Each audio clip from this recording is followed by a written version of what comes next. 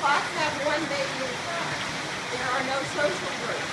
The male comes to the female, they mate, the male goes away. So it's all in a solitary thing. So why are these two together? Well, there came a point when people were dropping off so many orphan two-finger babies that she had more than one at a time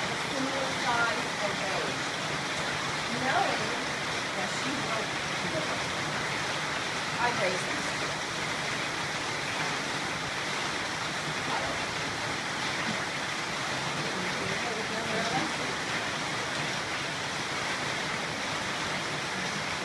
Very curious.